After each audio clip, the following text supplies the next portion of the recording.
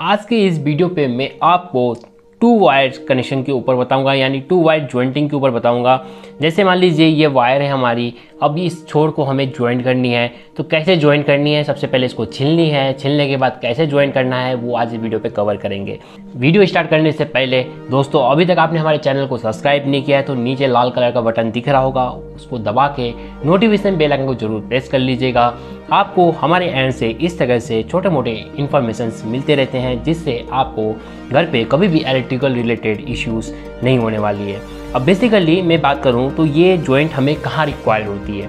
देखिए दोस्त, ये जॉइंट आपको कई जगह रिक्वायरमेंट हो सकती है। जैसे मान लीजिए आपकी कोई कनेक्शन हो रखी है और ओवर हीट होने के कारण से अगर आपकी वायर छोटी हो जाती है तो आप पूरे घर की वायर तो नहीं चेंज करेंगे। आप सिंपली यहीं से जहाँ से अच्छा होगा, वहाँ से कट लगा के और उसको वहाँ से उतना वायर का पीस ज्वाइन करेंगे।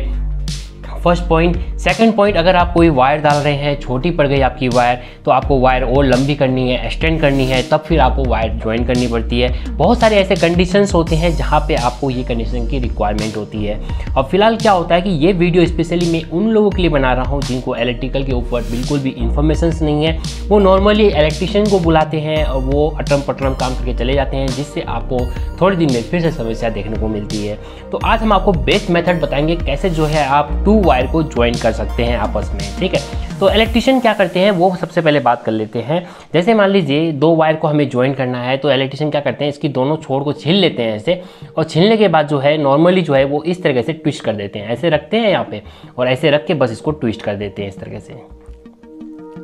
देखिए ये ट्विस्ट कर दिए। ट्विस्ट करने के बाद जो है नॉर्मली बहुत सारे इलेक्ट्रिशियन ऐसे करके टैपिंग लगाते हैं। कई लोग ऐसे भी टैपिंग लगा देते हैं जिसमें पीवीसी टेप की रिक्वायरमेंट होती है तो ये पीवीसी टेप होती है इंसुलेटेड होती है, जिससे करंट नहीं लगती है। तो नॉर्मली इस तरह से इसमें टैपिंग कर देते हैं। मैं आपको दिखा भी देता हूँ।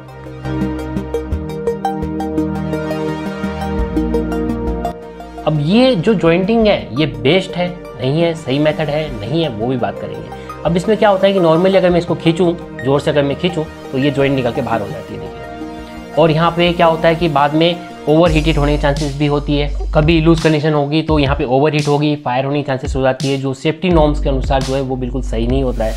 अब कई लोग क्या करते हैं, जैसे कि मैंने अभी दिखाया इलेक्ट्रिशियन इलेक्ट्रिशियन मोस्टली ऐसे ही करते हैं, ठीक है? लेकिन इस चीज़ को आपको देखना है। अगर आपको नहीं आता है, अगर आप इलेक्ट्रिशियन बुलाते हैं तो उनको बोलना है, ऐसे ज्वाइन नहीं करना है। आपको तार को सही तरीके से ज्वाइन करना है। अब बहुत लोग क्या करते हैं ट्विस्ट करने के बाद इसको बैंड कर देते हैं और बैंड करने के बाद टैपिंग कर देते हैं। अब मैं इसको अगर खींचूँ तो ये क्या ज्वाइंट निकल जाएगी? नहीं निकलेगी। क्या उम्मीद करते हैं आप? मैं आपको प्रैक्टिकली दिखा देता हूँ। ये देखिए, मैं इसको खींच रहा हूँ तो ज्वाइंट बाहर आ गई है ओपन हो जा रही है तो इट मीन्स दैट कि इस कनेक्शन पे, इस ज्वाइंटिंग पे कभी भी ओवर हीट हो सकती है। कभी भी स्पार्क हो सकती है, कभी भी फायर हो सकती है। तो चलिए, अब आपको बताता हूँ सही मेथड क्या है। कई मेथड होता है बट इस मेथड में मैं आपको एक ही बताऊँगा, फिर अगले मेथड में मैं दूसरा बताऊँगा। इस मेथड में मैं आपको एक बताऊँगा तरीका कैसे जो है आप इसको ज्वाइन कर सकते हैं। इसको क्या करना है? बेसिकली आपको यहाँ पे इस तरह से रखना है। देख रहा हूँ वीडियो पे देखिए, इस तरीके से रखना है और आपस में एंटी क्लॉक इसको ट्विस्ट करनी है।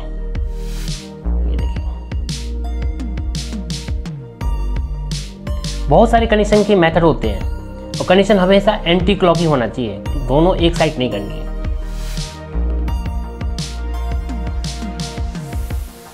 इस तरह से करनी है। वायर थोड़ी सी छोटी हो गई थी। अब उस कंडीशन और इस कंडीशन में देखिए कितना बेटर है। अगर मैं इसमें टेप लगा दूँ तो आपको पता ही नहीं चलेगा कि यहाँ पे ज्वाइंट भी हो रखा है। ये देखिए।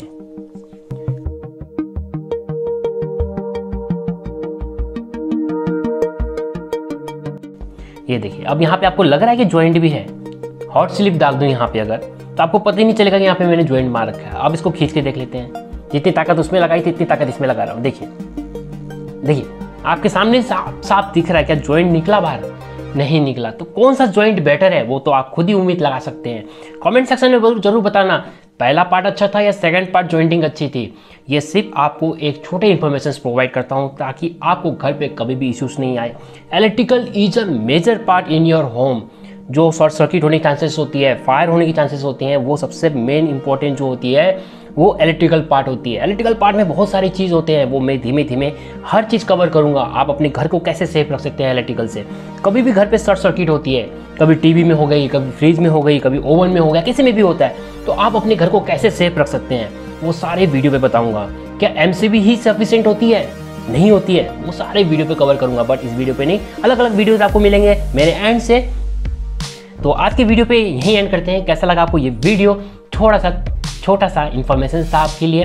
अगर अच्छा लगा तो दोस्त चैनल को सब्सक्राइब करके नोटिफिकेशन बेल आइकन को ज़रूर प्रेस कर लेना। इस वीडियो को लाइक करना ना भूले और अपने फ्रेंड सर्कल पे इस वीडियो को शेयर करना ना भूले, ताकि सबको पता चले कि कैसे जो है वायर को कनेक्ट की जाती है।